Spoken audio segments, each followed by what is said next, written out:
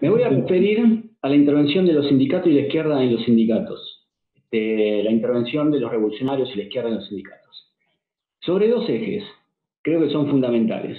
El primero es la independencia política de las direcciones revolucionarias en los sindicatos frente a la integración al Estado capitalista. No hay camino intermedio.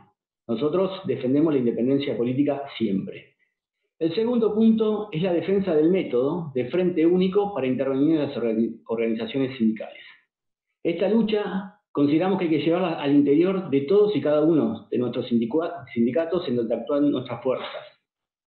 Me toca encabezar con la naranja gráfica el frente opositor a la burocracia sindical, el sindicato gráfico. Es parte de una lucha que desde la naranja viene hace 36 años dando, batallando por expulsar a la burocracia sindical de los sindicatos. La burocracia sindical que es una correa de transmisión de las patronales y del Estado. Es la batalla por recuperar las organizaciones sindicales y ponerlas a disposición de los trabajadores. Rechazamos cualquier paralelismo inocuo, cualquier autoproclamación. Luchamos, consideramos que es estratégica la lucha por la dirección de nuevas direcciones sindicales. Y así reivindicamos a los SUTEBAS combativos, a la dirección clasista de Ajedúa, al SUNDA, que es una conquista del movimiento obrero arrancada del ala kirchnerista de la burocracia sindical, hoy integrada plenamente al gobierno fondomonetarista de Alberto Fernández. Lo destacamos como un frente único de activistas sobre la base de un programa y de la democracia sindical. Y en ese sentido rechazamos cualquier fetiche basista. Nosotros le ofrecemos a la clase obrera un programa, una orientación y los métodos de la democracia sindical.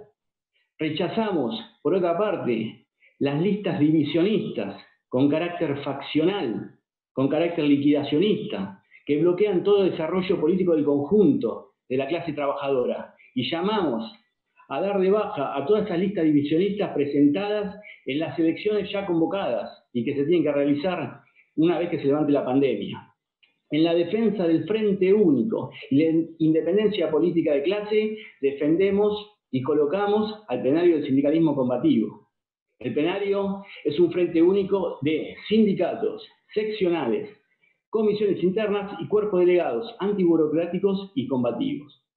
Pero para poner en pie el plenario fue necesario dar una batalla política y sacarnos los resabios, eso de cavar trinchera con la burocracia o cualquier colaboracionismo pusimos en pie el plenario sobre la base de un programa de clase que unifica los intereses inmediatos e históricos de la clase obrera. Levantamos consignas transicionales ligadas a planteamientos políticos.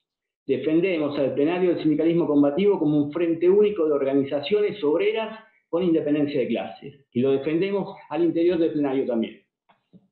Esto nos permitió dar la batalla contra el macrismo, dar la batalla tempranamente contra el recambio electoral que apoyaban desde el imperialismo, el gobierno, todas las burocracias sindicales y parte de la izquierda.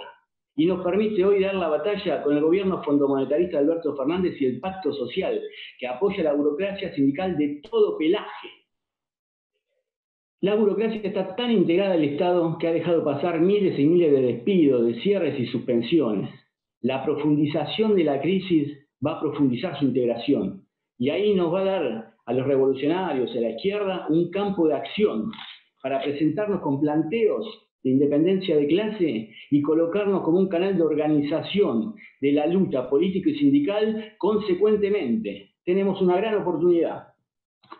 Para terminar, frente a este escenario de profundización de la crisis, frente a los pronósticos de estallidos, de rebeliones, de aumento de la conflictividad social, dos reflexiones. En primer lugar, nos pronunciamos por la necesidad de poner en pie partidos de combate en todos los países.